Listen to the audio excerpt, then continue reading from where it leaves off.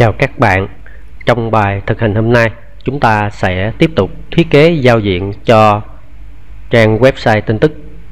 Đầu tiên, các bạn hãy khởi động chương trình Firewall lên.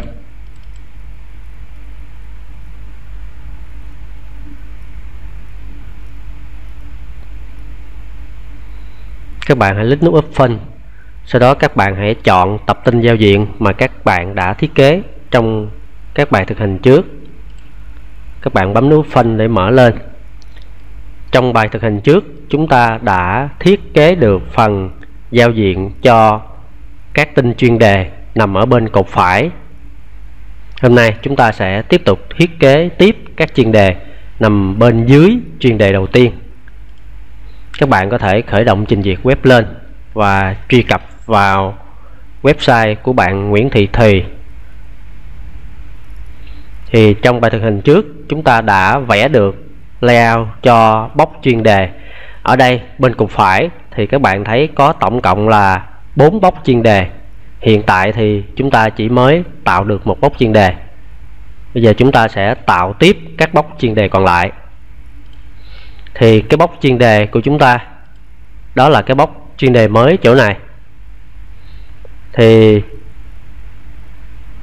ở đây, các bạn có thể sử dụng chức năng copy để chúng ta sẽ copy cái box này xuống phía dưới, sau đó chúng ta sẽ sửa dữ liệu lại. Các bạn đứng ngay bóc chuyên đề chỗ này. Các bạn mở cái bóc chuyên đề này ra. Các bạn chọn cái lớp chuyên đề sao hàng đến xứ Việt. Thì cái lớp này là cái lớp mà chúng ta đã nhóm lại cho tất cả các thành phần mà chúng ta đã thiết kế bên trong cái bóc chuyên đề này bây giờ các bạn hãy bấm Ctrl C, sau đó các bạn bấm Ctrl V để dán ra. Thì bạn thấy ở đây chúng ta đã dán ra được một một bóc nữa. Các bạn hãy chọn công cụ Pointer Tool, sau đó các bạn hãy kéo cái bóc này xuống phía bên dưới để chúng ta tạo thêm một cái chuyên đề thứ hai.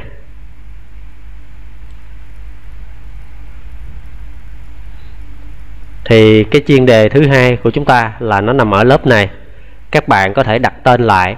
Ví dụ cái chuyên đề thứ hai của chúng ta tên là Việt Nam Idol do đó, các bạn hãy double click vào đây để các bạn đặt tên lại. Vấn đề của các bạn bây giờ là làm sao chúng ta sẽ sửa lại cái phần dữ liệu ở bên trong cái layout này cho nó giống dữ liệu ở đây. Thì để sửa được dữ liệu thì giống như trong các bài thực hành trước, chúng ta phải rã cái nhóm này ra để chúng ta chỉnh sửa dữ liệu bên trong.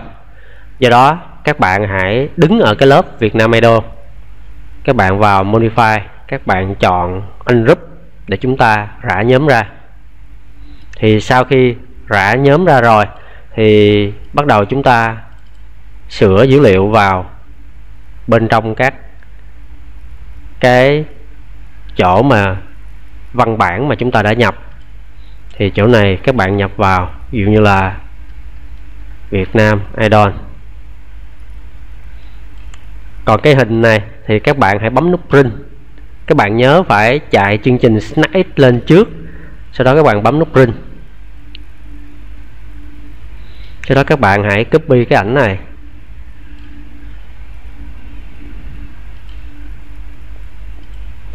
Các bạn vào Fiverr các bạn dán ra. Chúng ta bấm nút copy on chỗ này.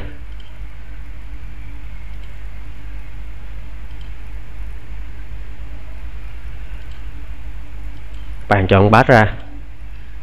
Thì cái hình cũ này thì các bạn chọn, các bạn xóa đi. Đây là cái hình cũ của chúng ta. Chúng ta chọn xóa đi sau đó các bạn thế cái hình mới này vào.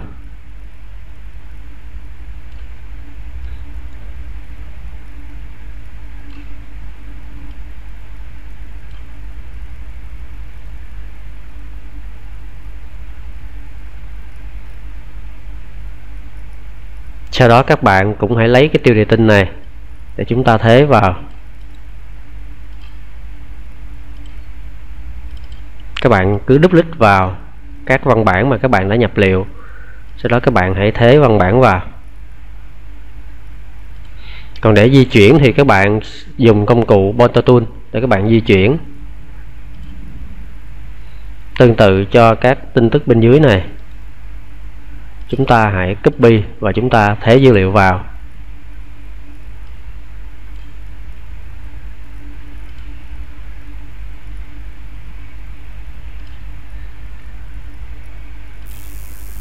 Nếu mấy cái tin này nó hơi dài thì các bạn di chuyển xuống.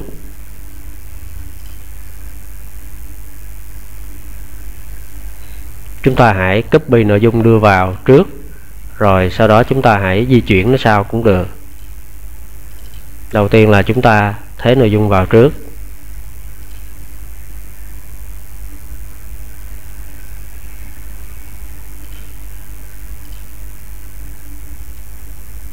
Tạm thời là cái xem thêm này chúng ta cũng dời xích xuống.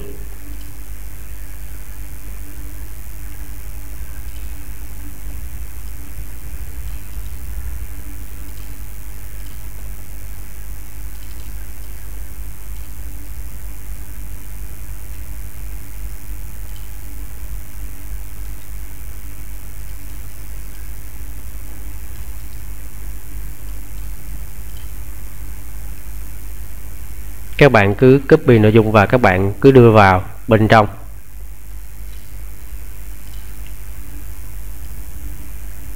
Trong cái bóc chuyên đề này thì chúng ta có tổng cộng là 5 tin mới nhất.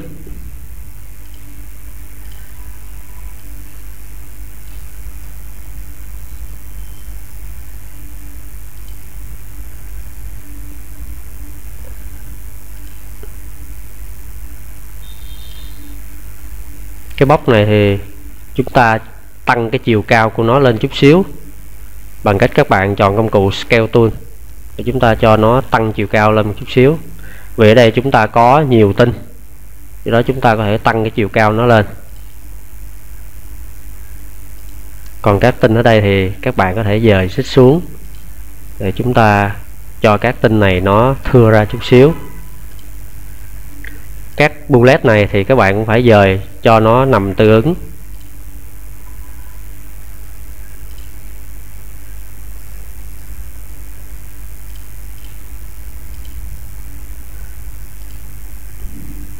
Vậy là chúng ta đã thế được dữ liệu cho cái phần chuyên đề thứ hai mà chúng ta đã copy ra từ cái chuyên đề sao hàng đến xứ Việt.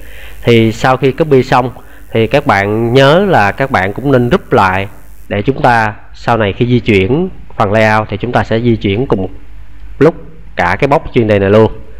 Do đó các bạn giữ control để các bạn chọn hết tất cả các lớp này. Các bạn nhớ là cái chuyên đề sao hàng đến chiếc xứ Việt này thì các bạn đừng có bấm chọn vì cái này là của cái phần bóc phía trên này thì sau khi các bạn đánh dấu chọn hết tất cả các lớp bên trong cái cái chuyên đề Việt Nam Idol mà chúng ta vừa mới tách ra, thì bây giờ chúng ta hãy chọn nó và chúng ta chọn lệnh group để chúng ta nhóm lại. Và bây giờ chúng ta đặt cái chuyên đề này, tên là chuyên đề Việt Nam Idol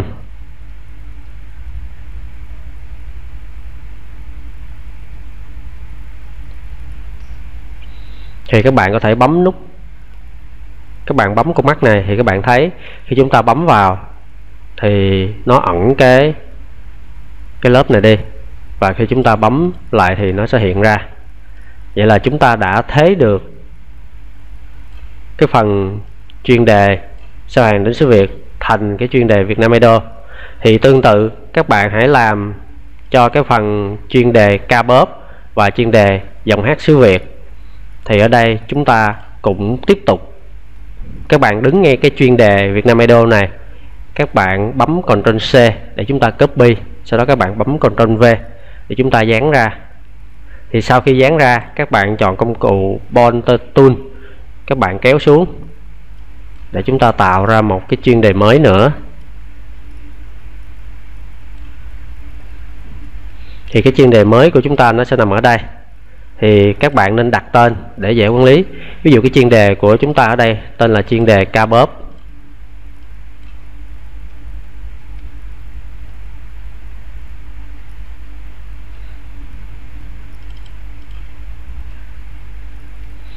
sau đó, các bạn hãy rã nhóm nó ra để chúng ta sửa dữ liệu lại. Các bạn đang đứng ở cái chuyên đề ca bóp này, các bạn tương tự, các bạn cứ anh rút ra. Sau đó chúng ta sẽ sửa lại.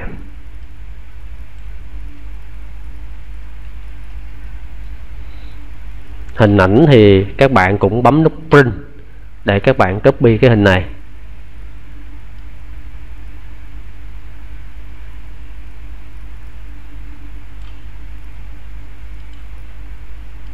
Sau đó các bạn cũng dán vào.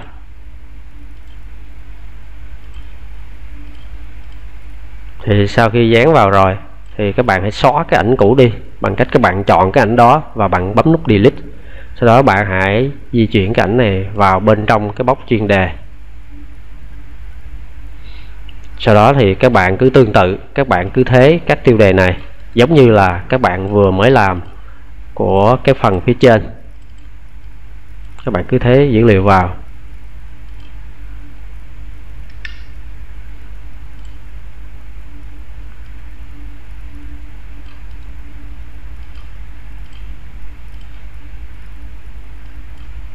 Các bạn cứ copy dữ liệu và các bạn dán vào thôi. Thì các bạn cứ dán vào đi, rồi sau đó chúng ta sẽ căn chỉnh lại cái vị trí của các tin này.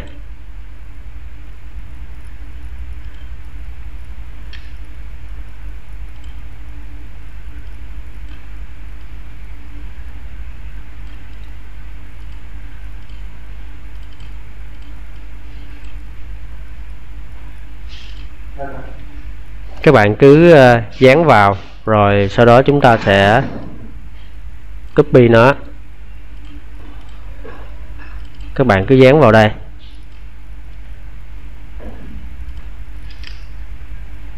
Thì sau khi dán vào rồi thì các bạn hãy di chuyển các tin tức này làm sao cho nó canh lề, nó đều một chút xíu. Các bullet này thì các bạn cũng canh đều lại. Vậy là chúng ta đã thiết kế được cái phần layout của cái chuyên đề ca bóp chỗ này. Thì sau khi thiết kế xong, các bạn cũng hãy giữ control, sau đó chọn tất cả các lớp. Các bạn hãy bấm chọn tất cả các lớp ở đây. Các bạn nhớ là chừa lại hai cái chuyên đề này. Sau đó các bạn vào modify, chọn group để chúng ta nhóm lại. Sau đó các bạn hãy đặt tên chỗ này vào. Dù đây là chuyên đề ca bóp. Thì các bạn có thể bấm thử con mắt để các bạn thấy.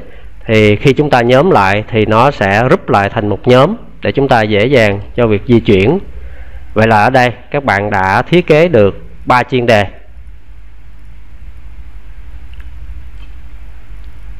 Cái chuyên đề còn lại này thì chúng ta cũng sẽ thiết kế tương tự, nhưng mà chúng ta sẽ thực hành trong cái bài thực hành kế tiếp còn bài này thì tạm thời các bạn thực hành tới đây. Tức là các bạn tạo hai chuyên đề chuyên đề Việt Nam Idol và chuyên đề ca bóp thì đó là bài thực hành hôm nay của các bạn. Chúc các bạn thực hành bài lab này thành công. Chào các bạn.